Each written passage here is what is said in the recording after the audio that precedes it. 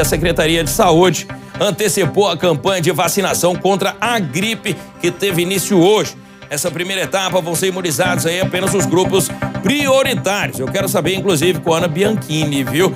Quem é que vai receber essas doses iniciais, Aninha? Com você, muito bom dia, querida.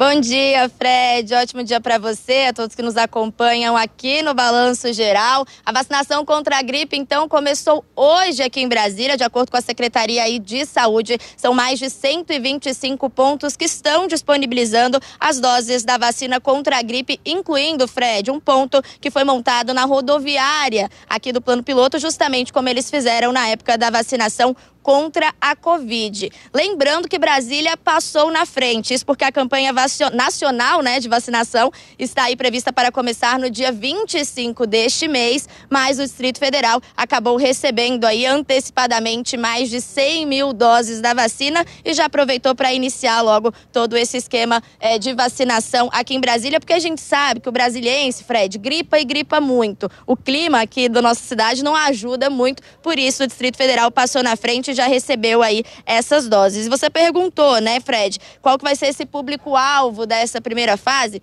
E eu vou ler aqui para o pessoal de casa porque é muita gente. Então vamos lá. Idosos a partir de 60 anos, crianças de 6 meses a 5 anos, gestantes, pessoas com doenças crônicas, professores, profissionais da saúde, caminhoneiros, motoristas de transportes públicos rodoviários também, funcionários do sistema prisional e também profissionais das forças de segurança e salvamento. Lembrando que a dose que está sendo é, usada nesse momento protege contra três tipos de vírus, porque a dose da trivalente. Para se vacinar, só basta procurar esses pontos de vacinação, levando consigo aí um documento de identidade com foto e também a carteirinha de vacinação. Quem se vacinou no ano passado, Fred, tem que se vacinar de novo, então não é aquele negócio, ah, eu já me vacinei contra a gripe e não vou. Não, tem que vir também e se vacinar mais uma vez com essa trivalente. Lembrando que a expectativa do governo federal é que pelo menos 75 milhões de pessoas se vacinem aí nos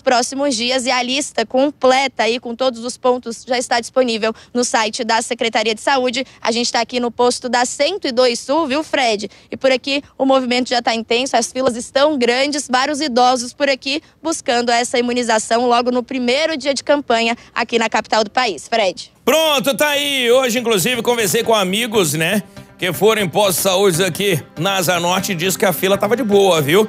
De manhã a fila tava de boa. E vambora, gente, independente da fila, vai se vacinar.